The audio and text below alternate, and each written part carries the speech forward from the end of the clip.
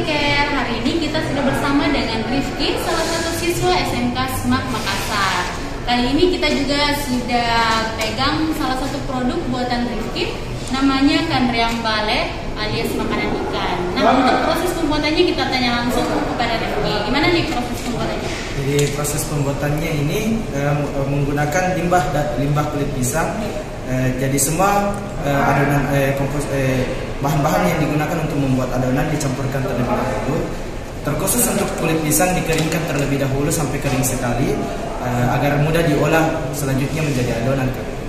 Di sini ada komposisinya ada kerupuk pisang, kopra, jagung, tepung jagung, tepung tapioka, ampas tahu, dan air kayak vitamin ikan. Ini kopra apa? Kopra ini kak eh, adalah kelapa yang dikeringkan kak. Ya kelapa yang tepung jagungnya ini beli jadi atau bikin sendiri? Eh, di kalau yang tepung jagungnya kak dibeli jadi kak. Beli jadi. Iya, Kak. Tepung tapioka. Iya, Kak. Tapioka juga. Kalau ampas tahunya gimana? Eh, ampas tahunya kak awalnya mau meningkat cuman karena eh, keterbatasan biaya jadi eh, kita bikin kak.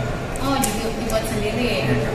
Ya, nah untuk eh, menurut Rizky sendiri yang istimewa dari makanan ikan ini dibandingkan dengan makanan ikan itu apa? Karena pakan ikan ini dibuat dari limbah kulit pisang, maka kadar protein dan kadar lemak eh, menjadi sangat tinggi setelah dicampurkan bahan tersebut.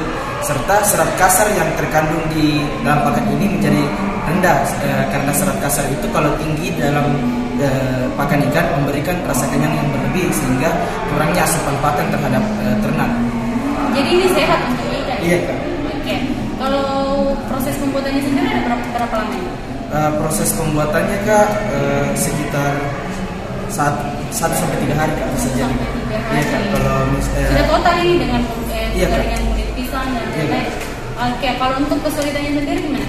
kesulitannya di sini kak pengeringan kulit pisang kak karena iya kak karena pengeringan kulit pisang ini harus dibawa sinar matahari kak jadi kenapa satu sampai tiga hari tergantung cuaca kak kita harus keringkan sampai kering sekali kak Begitu aja. Kalau ini untuk pembuatan ininya, Ah, Kak, berat-beratnya, kita menggunakan mesin cetak kak oh, ada mesin cetaknya. Iya, Kak. Kalau untuk ukurannya dalam segini, diukur berapa takaran?